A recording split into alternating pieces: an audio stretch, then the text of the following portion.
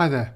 Now for this question, we've got to show that the equation of the tangent to this hyperbola h given by xy equals c squared at this point P has the equation t squared y plus x equals 2ct.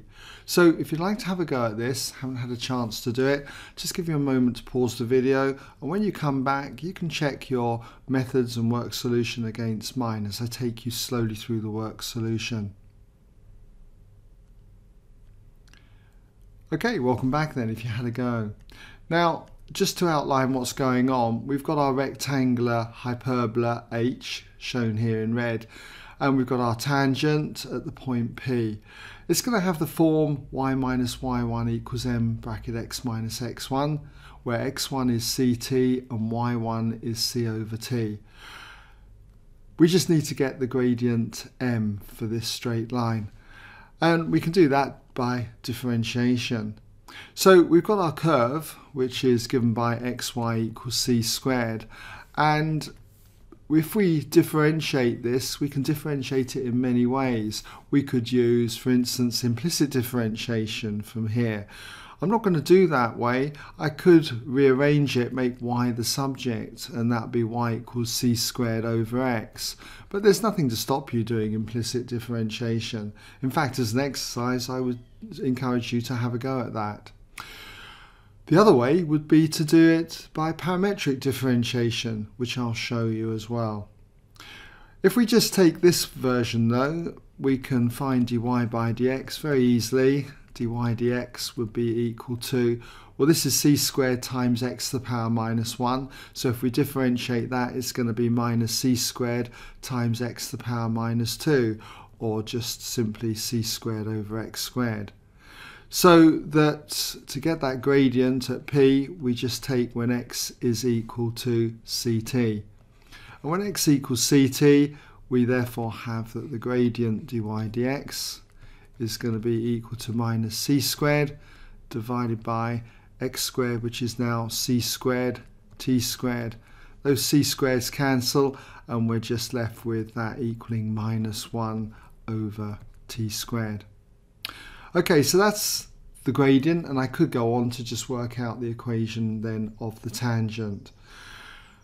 I did say though that there was another way that we could look at the gradient and that is by parametric differentiation.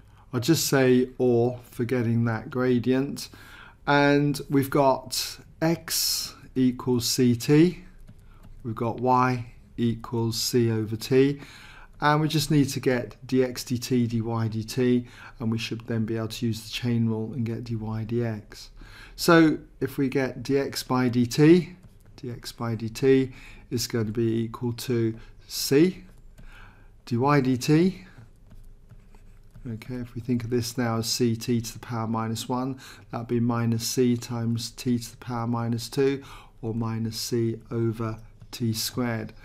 So therefore, dy dx is equal to dy by dt times dt by dx using the chain rule and so therefore dy dt is minus c over t squared.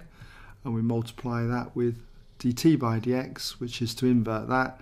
Take the reciprocal it'll be 1 over c. The c's cancel and you can see that we're left with minus 1 over t squared.